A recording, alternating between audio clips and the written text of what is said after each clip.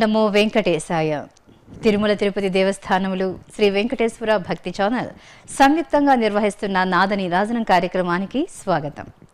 ప్రపంచవ్యాప్తంగా ఉన్న కళాకారులు తమ గాన వాద్య నృత్యాలతో స్వామివారిని అర్చిస్తూ తరిస్తున్నారు.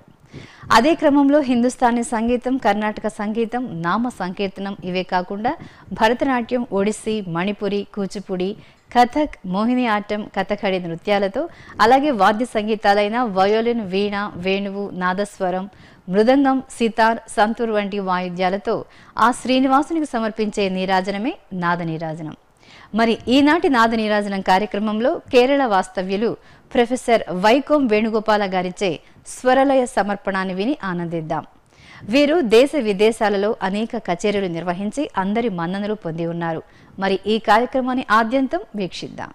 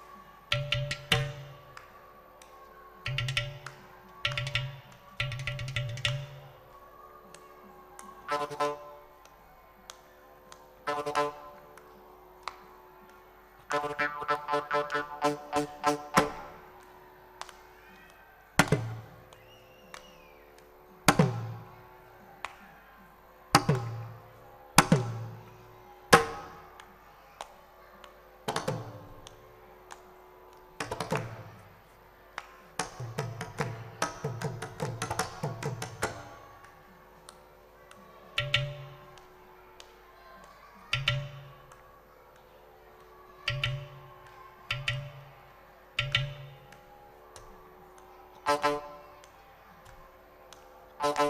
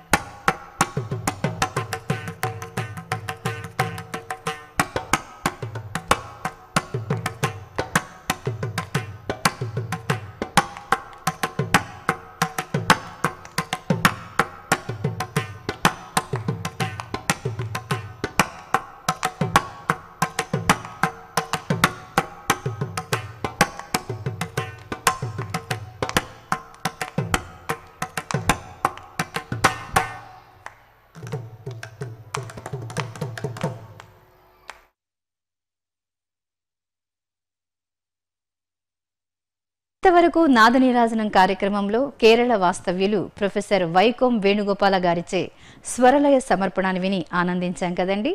వీరికి వీరి బృందానికి శ్రీవారి కృపా కటాక్షాలు ఎల్లప్పుడూ ఉండాలని కోరుకుంటూ రేపటి నాదనీరాజనం కార్యక్రమంలో కేరళ వాస్తవ్యులు సిఎస్ అనురూప్ గారి వయోలిన్ వాద్యాన్ని తప్పక వీక్షిద్దాం. ఓం నమో వెంకటేశాయ.